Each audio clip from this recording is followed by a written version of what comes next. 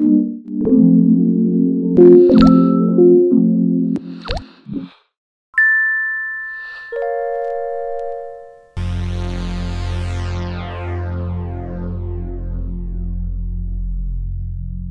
una enfermedad producida por un virus que afecta principalmente el sistema respiratorio. La vía de transmisión eh, se presenta por contacto a una persona realizar estornudos, todos por simplemente por hablar a una distancia menor de 2 metros o por eh, estar en contacto con una baranda o con algún elemento del cual la persona infectada lo haya tocado. Eh, hay que diferenciar la infección por coronavirus del resfriado común. Tiene unos síntomas que son muy parecidos, pero lo que más la diferencia es la dificultad respiratoria que puede presentar.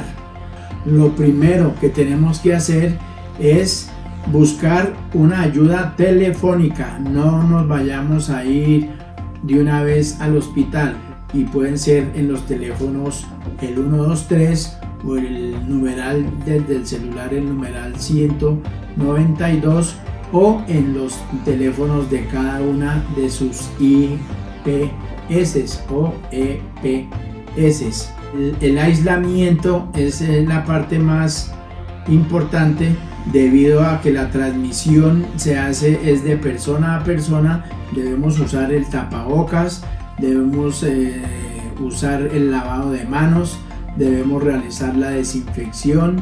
También quiero que, que me escriban a mi correo electrónico donde estaré gustoso en responderle cualquier inquietud que tengan para un mejor manejo de esta pandemia.